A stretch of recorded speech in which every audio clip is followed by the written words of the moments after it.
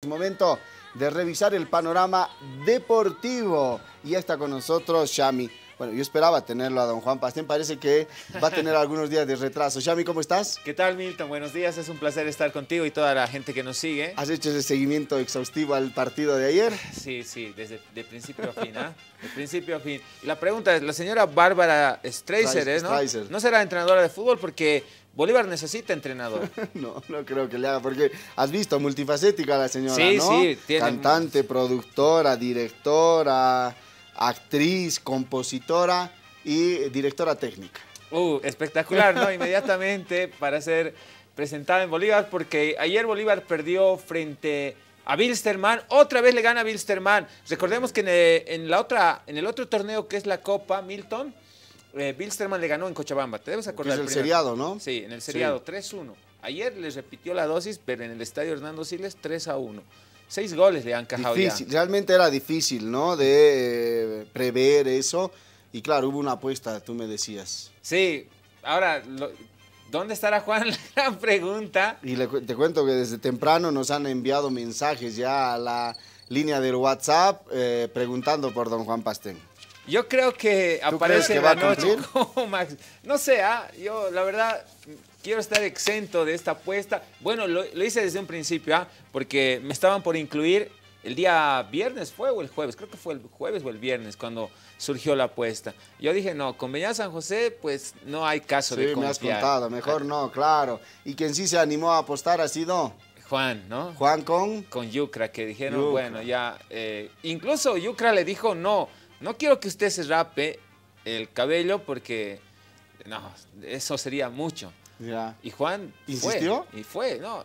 Fue, fue por el cabello y ahora pues tendrá que. Mándenos sus mensajes, por favor, a la línea del WhatsApp, el Sí. 72867. ¿Usted cree que don Juan Pastén, el director del Mejor de los Deportivos, el número uno de los deportivos, va a cumplir la apuesta? Ahí el video, a ver, A ¿podemos ver. revisar el momento de la apuesta, porfa? Claro, claro, vamos con ello. Es más, Juan, es más, para que vea eh, eh, lo seguro que estoy, quiero apostar con usted y con usted, mi querido Shami. Con los dos. Con usted. ¿Aceptan o no aceptan? Dos por uno, de una. Yo no me corro, así de fácil. No sé si ustedes se van O sea, a correr. vos, te- vos querés hacer no un trío entonces, ¿eh? Pero ¿qué querés apostar? A ver, di, ya decirlo, no hay problema. A ver, ¿qué querés apostar? Ya, con usted, con usted, Juan, cabellera, otra vez, Alsace, y ahorita le, eh, eh, le pido algo a usted, y con Shami, una ceja. No, ¿Qué no, ¿por dice? qué? ¿Por qué no? Si va a apostar cabellera, todos con cabellera, no hay problema. Oh, bueno, está bien, ya está bien, cabellera eh, contra cabellera, si usted quiere. No, pero usted no, todavía no, Juan. Con Shami yo creo que sí. Usted, es que... A ver, Chami, ¿va a apostar por la cabellera o no va a apostar la cabellera? Juan, Yo apuesto la cabellera, así de cajón. Yo me paglo, ahí está. Yo me. Si pierde. Está bien. ¿Usted, Shami? A ver, Juan, yo creo que la gente también se debe acordar que la última vez que perdí fui claro y dije, mientras Beñat San José sea entrenador de Bolívar, no voy a ir a las cuentas. Eh, Shami y- se está corriendo.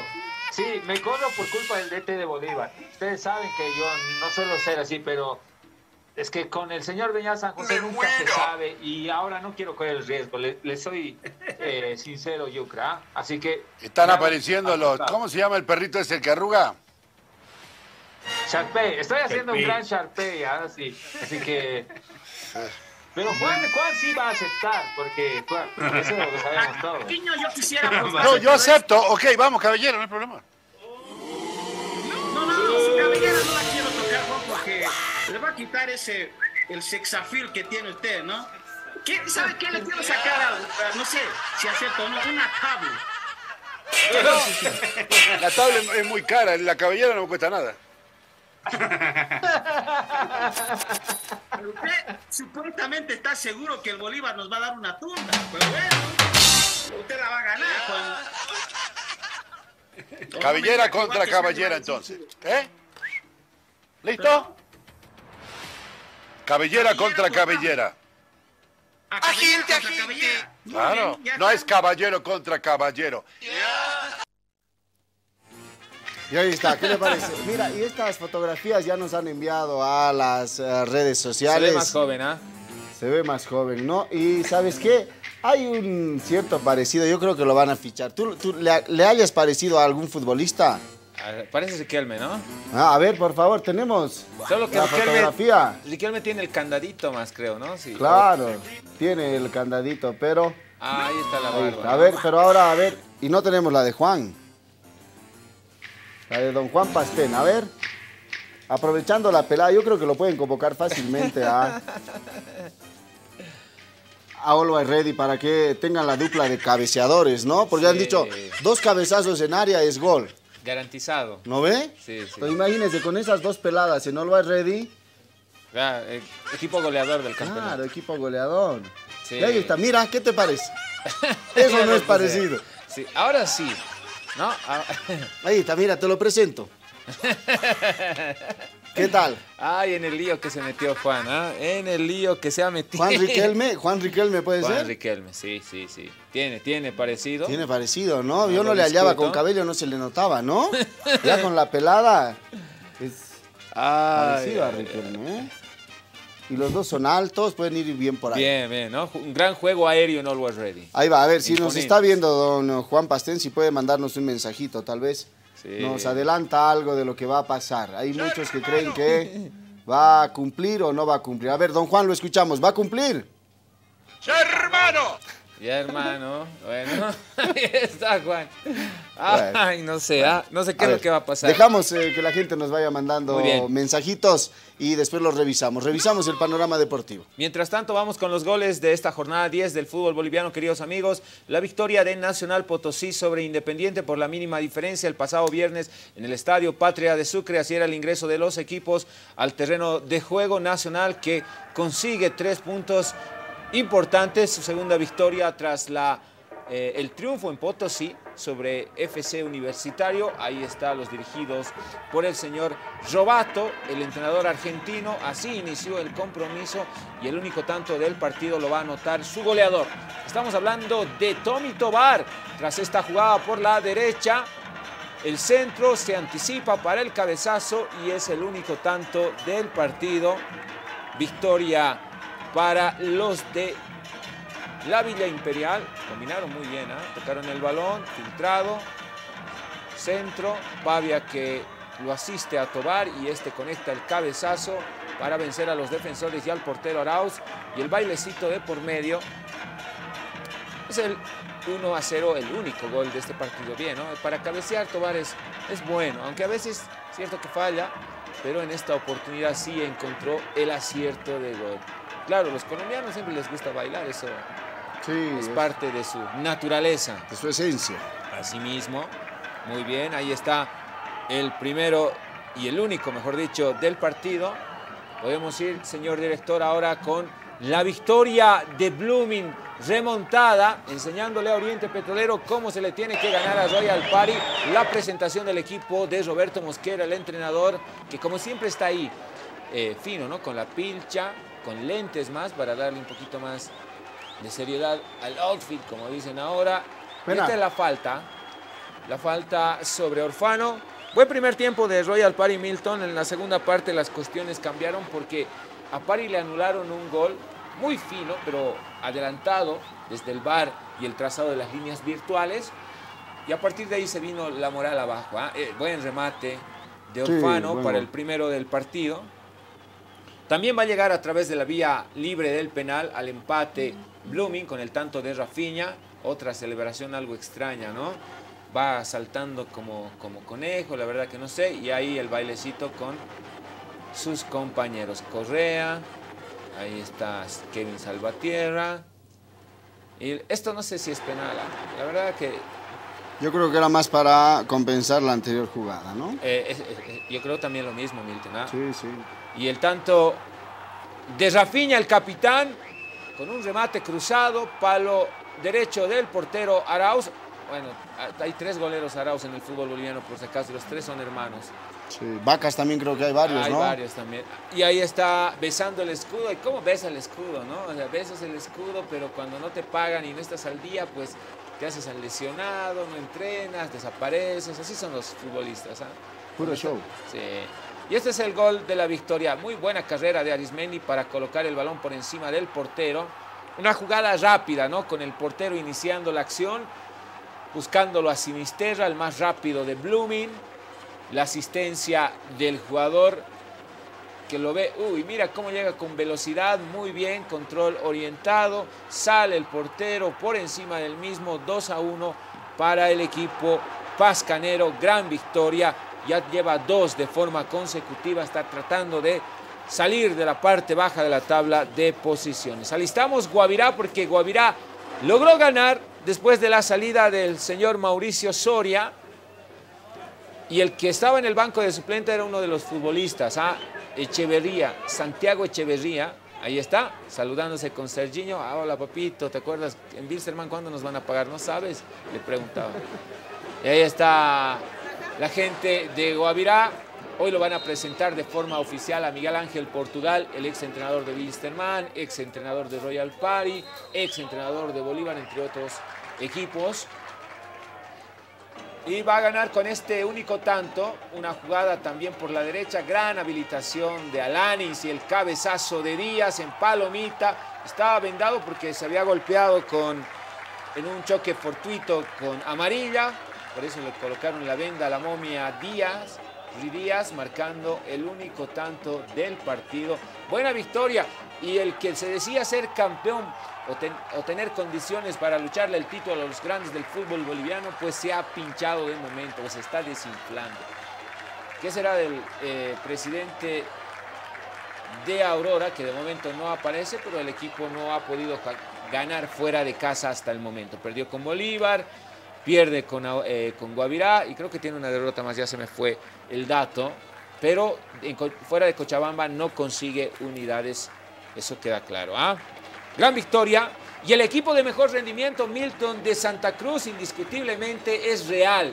Los Leones Blancos del Pajonal que vencieron a Gran Mamoré por tres goles a uno en el estadio Ramón Tawichi Aguilera. Buena victoria del equipo dirigido por Ábrigo y también las Ratas Rodríguez, que es el asistente técnico. Comenzó perdiendo ¿ah? con el tanto de Rodríguez en una jugada balón detenido. Ahí está el cabezazo. Lemos mandando el centro. Y el colombiano aprovechando el descuido. Danco no mide el tiempo y la distancia. ¿no? Se elevó, no despejó y lo aprovechó el mediocampista central que tiene Gran Mamoré. Dijo, no, no, tranquilos, yo lo voy a festejar solo. No se me acerquen, no me toquen. Bueno, después ya sí. Ahí está la fanaticada y que a propósito, la hinchada de Gran Mamoré fue agredida después del partido y eso lo vamos a abordar con, todos los amigos en el programa. Todo lo que ha pasado y estos incidentes con la barra. Dicen que, que ha sido la barra de Oriente Petrolero los que, los que los han agredido. Este es el tanto del empate con una jugada rápida de Jan, el rebote que cae en González, el cabezazo del colombiano, otro colombiano para marcar el 1 a 1. De forma rápida llegó el tanto del empate para ya ir trabajando la victoria por parte del equipo blanco. Muy buen gol, sí. Jan está teniendo una buena participación y es importantísimo en el medio campo y en la ofensiva de Real Santa Cruz, eso no tiene dudas. Y el 2 a 1 llegará en el segundo tiempo. Nuevamente González, amigos. González que se va a ir lesionado, no lesionado, sino tuvo problemas, unos cólicos, nos informaron desde el cuerpo médico de Real Santa Cruz. Anota este tanto y ya comienza a sentirse mal, ya no festeja como se esperaba con sus compañeros, empieza a jadear, se pone, se dobla, por así decirlo, y luego cae desplomado al terreno de juego y lo tuvieron que llevar a un nosocomio. Y ahí está Jairo Jan marcando el 3 a 1. Buena jugada, deja un hombre en el camino, es Aspe. Zona de remate, botín interno, pierna derecha. Buena definición del haitiano para el 3 a 1 final.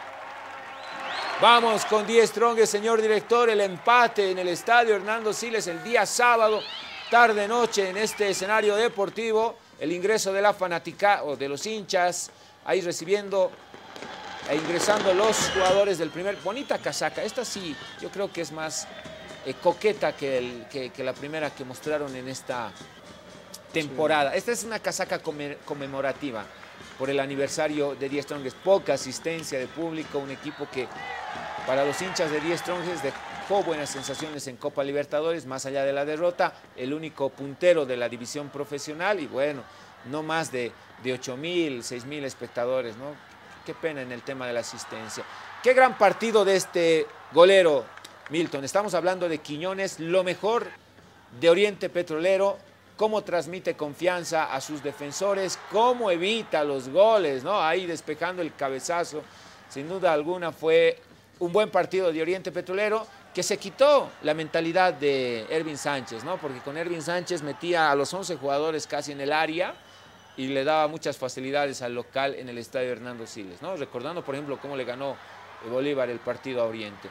Más posibilidades para 10 Strongest que no podía concretar, no podía rematar y cuando lo hacía, pues estaba ahí la muralla llamada Quiñones, otra vez el portero y en una segunda oportunidad despeja la defensa, más para 10 Strongest, es cierto, dominó 10 Strongest, pero le faltó efectividad. Esta jugada es anulada, Mano, es anulada por el fuera de juego, o fuera de juego.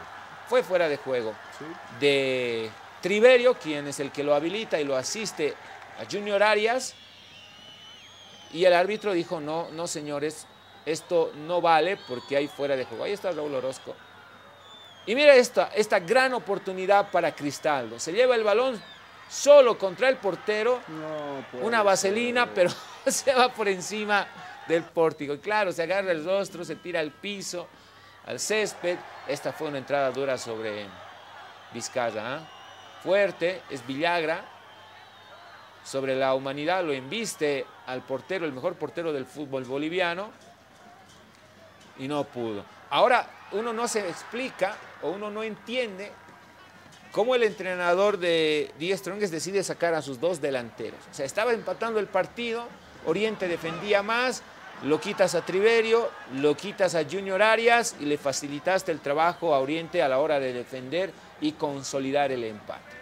Increíble, ¿ah? Increíble.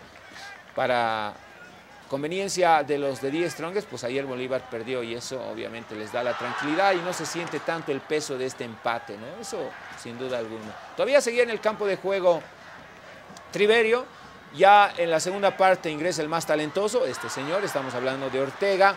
Ortega tiene que entrar desde el primer minuto, es... En el Siles su presencia es importantísimo, creo que eso no lo, no lo cree el señor Rescalvo, el entrenador español, más oportunidades para Die Strongest. Qué mal partido de Torres, rematando desviado, sin poder controlar el balón, muy impreciso. Torres ha sido lo más bajo del partido de Die Strongest. Y ahí está, final del compromiso. 0 a 0 en el estadio Hernando Siles. Bueno, tampoco se aprovechó del todo, ¿no? Los que estaban obligados a valerse de este empate, algunos jugadores que les reclamaron a Raúl Orozco, pero yo creo que el arbitraje estuvo bien, ¿ah? no, no, no tuvo tantos errores como es habitual. Sí, pero bueno, el arbitraje está tan complicado ahora con el VAR, Sí, sí. con eh, los árbitros hechos o eh, más estrictos, cobran hasta lo mínimo. Sí. Claro, porque saben que el VAR les tiene pisando los talones, ¿no? Porque me imagino que árbitro que recurre mucho al VAR es un árbitro que no está llegando a las jugadas. No, incluso hay jugadas donde el árbitro está a metros de la acción. Y el Y- VAR termina contradiciéndolo. Sí, en las decisiones que toman. Por ejemplo, en la expulsión de, de Tonino Melgar, ayer, el árbitro también está muy cerca de la acción. Entonces, si no es el VAR, hay cosas que no se sancionarían como debería ser. Eso ha quedado claro. Pero- ¿Aporta o no aporta el VAR? Aporta, aporta, pero como tan- es que como es una herramienta utilizada por los mismos árbitros, ellos también a la hora de hacer el uso del VAR también se equivocan, ¿no? Ese es el problema. O sea, como que la capacitación no ha sido bien asimilada Mm. y los problemas surgen ahí. Pero a ver, comencemos con, con lo de Bolívar. Ah, mira, ya está un wilstermanista, ¿no? Con la chalina. Bien, un cochabambino. Ahí lo saludamos a Diego, bien, feliz No, porque... no puede ser. A ver, por favor, enfóquenlo. A ver, hay un vidrio ahí, por favor. ¿Quién va a ser? Rosen, porfa. A. Dame esa toma ahí al fondo con la este. Queremos saludar a quien el público también extraña un, un poquito. Que, que lo salude. En las mañanas ahí está. Diego Montaño festejando la victoria del albirrojo. Sí, saludos. De los Diego. aviadores, Disfrutalo, Diego, porque pocas veces, ¿ah? Pocas veces vas a tener esa alegría. Disfrutalo porque... Sí. Bien, gracias, le mandamos un abrazo a, a Diego. Ya está, las incidencias del partido. Así comenzó Bolívar con alguna intención de fuera del área con remates. Esta creo que fue la mejor de Tonino Melgar. Combinaron con Rodríguez, no pudo Machado, aprovecha para sacar el remate de media distancia y el portero responde ante esa exigencia Jiménez. Pero después una superioridad marcada, establecida con situaciones de peligro a favor de Bolívar, pues no la hubo. No sé por qué el señor Beñá San José manifiesta y sale e indica de que Bolívar fue totalmente superior. Esta es la expulsión, ¿ah? Ahí está la expulsión, Milton. Y mira, ¿a, cuán- ¿a qué distancia está el árbitro? Está ahí cerca. Está ahí cerca, en efecto, lo pisa y tienen que ir al bar para Pero si salta el jugador y cae y termina pisándolo, ¿dónde iba a pisar? O sea, Es un buen argumento, ¿ah? es difícil en ese momento cuando eh, se presenta esa Sí. situación. Hay quienes logran saltar, quienes no.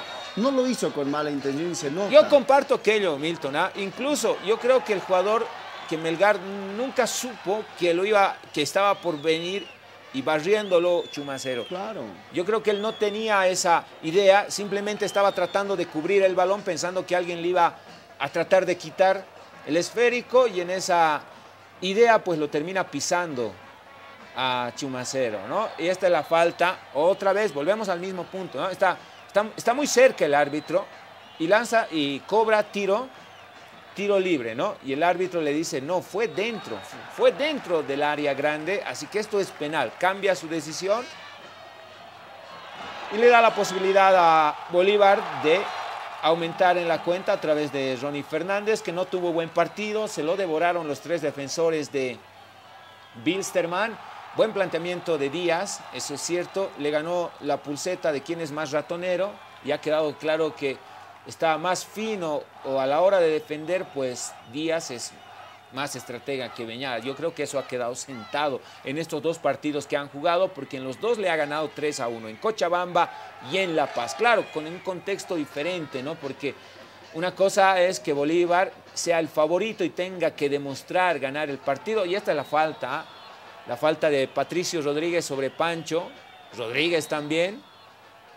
Incluso esto era para roja directa, pero le mostraron la segunda amarilla, ya estaba condicionado desde el, primer, desde el minuto 10 que ya tenía la amarilla, la segunda y lo expulsan a Rodríguez. Esto yo no entiendo. Estabas con un hombre menos, saltas al segundo tiempo, tienes un jugador que está en el medio campo y que tiene que marcar, ya tiene amarilla, está condicionado, pues había que modificarlo, había que buscar otra alternativa para ayudar a marcar porque se suponía que ibas a retroceder líneas. Lo del señor Beñat San José es increíble. Este es el tanto de Velázquez mandando el cabezazo, conectando el cabezazo. Buena jugada. Pase retrasado. O sea, es una jugada trabajada, ¿no? De táctica y de pizarrón. Penetra y casi pisa línea de fondo Chumacero. Centro al segundo palo. Ferreira que no llega. Sí, el defensor de Bilsterman. Y es el Ahí tenía que llegar el arquero para Sí. evitar ese centro, porque si el defensor la tocaba, la metía también. Eh, En efecto, ¿ah? Sí, esa era una bola de lampe.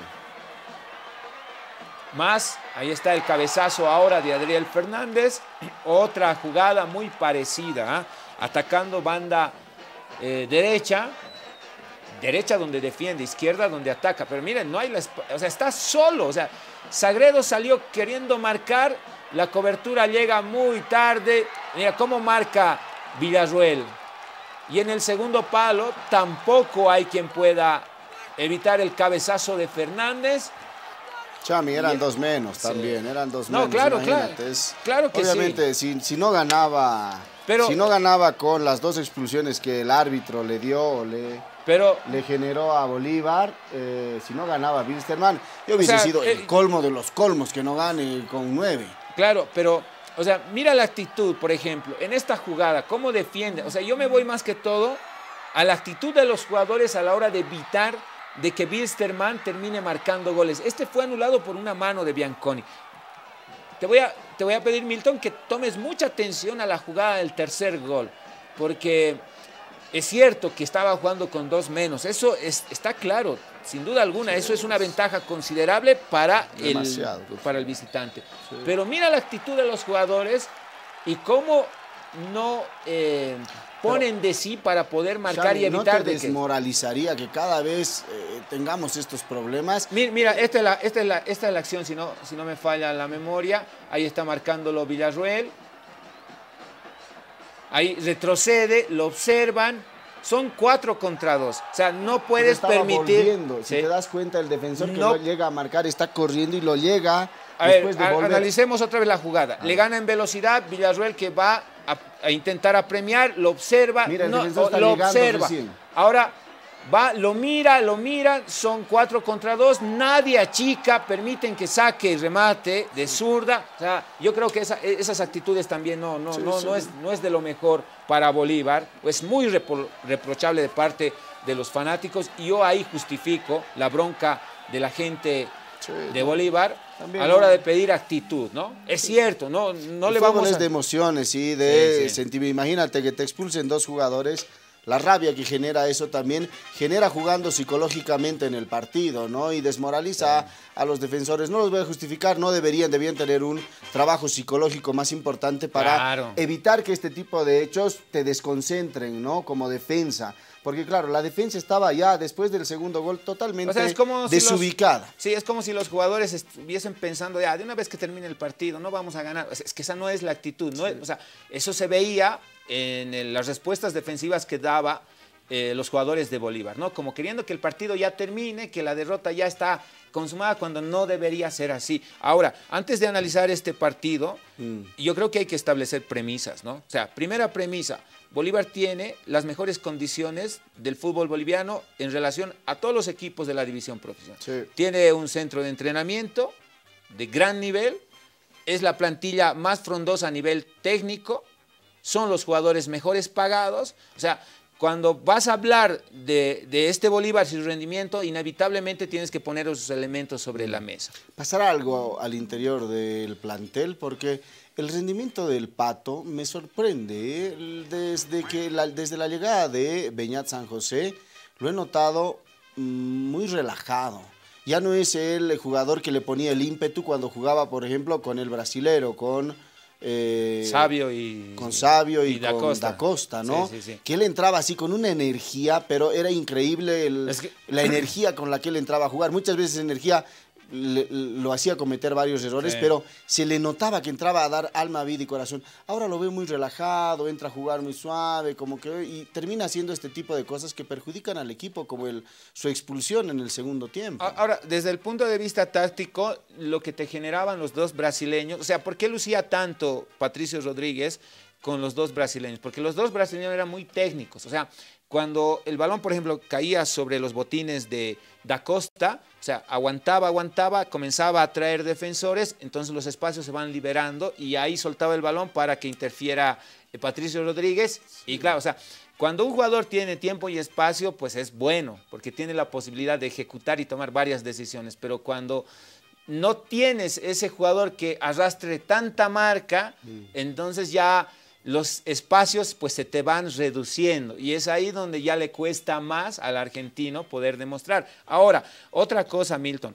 Eh, ayer el señor Cristian Díaz sabía qué es lo que tenía que hacer. Ayer Cristian Díaz sabía que no perdía nada si es que el partido lo terminaba ganando Bolívar, ¿no es cierto? Entonces planificó en función de aquello. Decidió jugar, incluso jugó sin delantero. Jugó con Esparza y con John Velázquez, que a propósito es jugador de Bolívar, como dos hombres que tapaban la subida de los dos stoppers. Atrás Chumacero lo correteaba eh, a Patricio Rodríguez. Machado estaba pendiente de Tonino Melgar. En la banda, Robson Dos Santos no le dejaba hacer nada a Roberto Carlos Fernández. O sea, el sistema defensivo que implementó Cristian Díaz le resultó. Ahora que después se den las expulsiones, eso ya era un añadido, ya eh, podía haber sucedido dentro de la planificación. O sea, la idea para Bilsterman era, vamos a defender, vamos a neutralizar y en el contragolpe a ver si hacemos daño. Claro, y a ver, ya, la idea era conseguir un empate. Claro. ¿no? Eh, Pero la- las expulsiones se le dieron y, y se el tuvieron que ir partido, encima, claro. cla- eh, es que ese es el punto. La- eh, lo que sí también hay que considerar ahora, más allá de la- del planteamiento de Cristian Díaz, es el hecho de que Bolívar está en una crisis deportiva. Eso es indiscutible. No gana hace cuatro partidos. Eh, recordemos, perdió con Gran Mamoré por 2 a 0. Sí, El- ahí, comenzó, creo, todo, ¿no? Ahí comenzó los problemas. Después empató con Always Ready en la Ciudad del Alto, Sí. ¿no es cierto? Perdió en la Libertadores. Perdió en la Libertadores. Y pierde ahora con Bilster. Y ahora pierde con Bilsterman. Estamos hablando de que de 12 puntos posibles ha conseguido uno. Nada más, Imagínate. ¿no? Un- ¿Cuántos goles ha recibido? Ha recibido nueve goles en contra, casi un promedio de cuánto, de 12, 2,5 goles por partido. ¿No? 2,5 goles por partido. Efectividad de puntos conseguidos, 8 de 12 posible. 8%. Entonces, estamos hablando de que es una crisis y que las soluciones pues tienen que llegar lo antes posible. O sea, ya ha jugado más de 10 partidos, son 12 partidos si no me equivoco, o 13 partidos en lo que va de la temporada. Milton, ¿has visto alguna mejoría? No, más bien al contrario, ¿no? Está yendo para atrás. Sí. Entonces, aquí el que está viviendo en la negación es el señor Marcelo Claure, porque los dirigentes no tocan pito, lo sabemos. No, ellos no van a decidir si se mantiene al frente, si le dan el respaldo o no. Aquí solamente es uno, ese es el señor Marcelo Claure. Eso creo que todos los bolivaristas lo saben.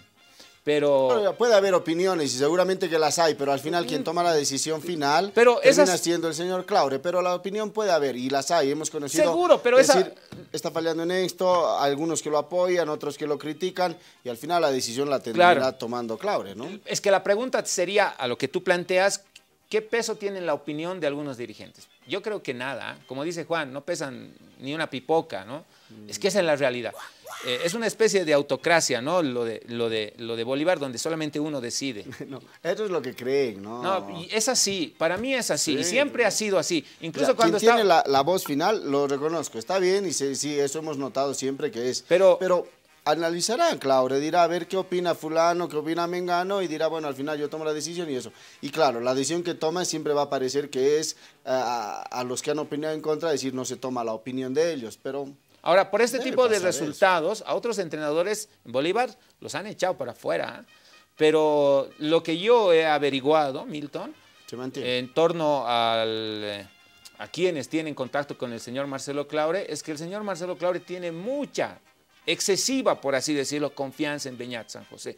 Entonces, pensar en una salida del DT a estas alturas parece difícil, Sí. muy, muy No, yo complicado. no, Entonces, considero que no, que no va a salir. que no va a salir, eh, la fanaticada tendrá que todavía seguir viendo sus partidos, pero lo que más náuseas genera en la fanaticada son sus declaraciones y la falta de autocrítica, Milton, ¿no? Porque ayer volvió a salir, o sea, si no viste los penales, si no sabes realmente si fue, o mejor dicho, las expulsiones, si fue o no fue expulsiones, pues no lo menciones. Y ayer sale el señor Beñat San José, vuelve a tomar como justificativo el arbitraje y las expulsiones. O sea, nadie va a discutir que jugar con dos hombres menos es una ventaja muy importante para el equipo rival, sin duda alguna. Está bien, yo no Pero voy a si no- discutir que, sean, que no sean penal que no hayan sido rojas, está bien.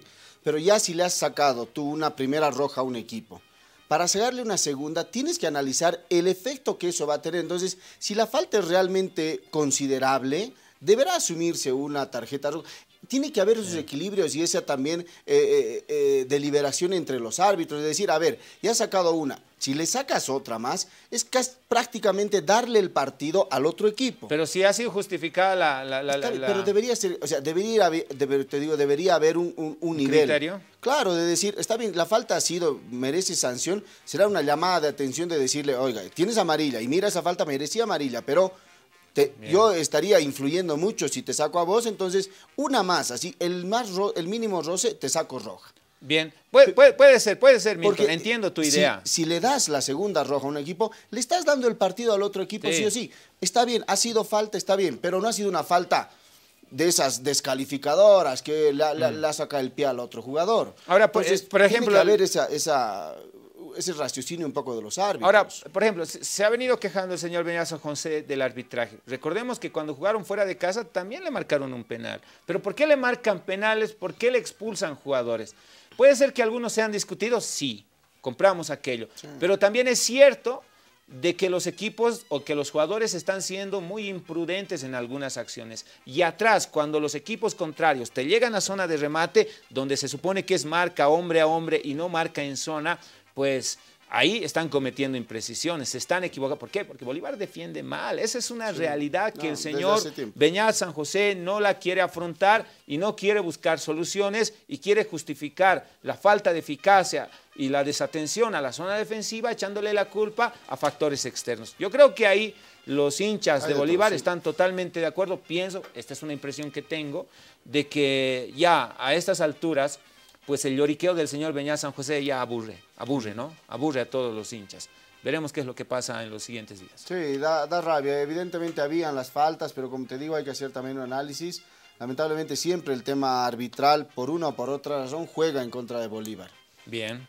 Así es que... Esperemos si, si Juan, ya- ya si Juan aparece, ¿no? Sí, ya hubiera estado ahorita rompiendo. No sé si Juan perdió el avión igual que, que- que los de que los de que igual que va a perder el cabello. A ver qué sucede. Creo que comenzó perdiendo el avión antes de perder la cabellera. Hay mensajes, te cuento, y te decía, hay mucha gente que está escribiendo sobre este tema. Eh, entenderás la repercusión que genera tremenda apuesta. Sí, el tío Pascual en el 1 a 0, el tío Albert el 3-1. ¿Qué hiciste, tío? Me ofrezco como peluquero. Ven ¿Eh? cuando quieras, dice, ahí está. Por ahí es un amigo peluquero que quiere ser parte, ¿no? Sí, De, algo, de es que va a ser algo histórico para el periodismo deportivo que Juan se rape, ¿no? ¿Y quién no quiere formar parte de aquello? Claro, ahí hay varios peluqueros seguro que van a querer Sí, raparle los la memes, pero, cabeza, dejarle la pelada expuesta. Va a tener que... ¿Por qué no el- piensan un, un- un espacio para el deportivo? oh? Sí. La pelada con Juan Pastén. Sí, sí. Yo creo que vamos O a, vamos la a pelada de Juan Pastén. así. ¿No? A ver, ¿qué más dice? Sería, sería bueno que don Juan cumpla su apuesta esta noche. Sí, pienso que sí, pero... Hay quienes quieren que sea de inmediato. Eso está por verse todavía. Conociendo a don Juan, Va a sacar un as sobre el va a la o va a sacar ¿no? un as bajo la manga o va a dejar que pase unos días de tensión hasta llegar a un punto en el que o cumple o se corre. Sí. Mire, este, este es un mensaje serio, dice. Sobre la apuesta tendría que cumplir el tío Juan, porque es un hombre, eh, una persona de palabra. No se vería bien que si no cumpliera, además la apuesta fue pública y tendría que cumplirlo el tío Juan, aunque Yujra tuvo mucha suerte y como dice Shami, debe irse el entrenador de Bolívar, no tiene capacidad para dirigir. Buen comentario, gracias a la gente que nos está mandando sus palabras y sus pensamientos sobre Bolívar y bueno, esta apuesta que Juan tiene que cumplirla, claro, estamos en aquello todos. Ahí está. El talibán por dentro, sin llorar, talibán, si no apostaste es porque sabías que iba a perder tu equipo, Chapi, dice, ¿no? Tu, Tu equipito. tu equipito, bien. Está bien, gracias. No, es que no hay confianza, mensajes. no, no, no hay confianza. Ah, lo que no falta, está la mascota de Sí. Bolívar después del partido del fin de semana, ¿no? así quedó, ¿no? Así quedó. Simón.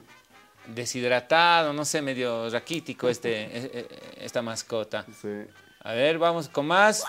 Cuando apuestas tu melena al Bolívar, no debía hacer eso, jajaja, dice Juana. Ahí. Estará así ahorita. No, sí, yo creo que No quiere salir arrepentido de que está, lo está. Yo doy fe de aquello, ¿ah? Sí. Pero veremos, veremos qué pasa. A Ya, ver, hermano.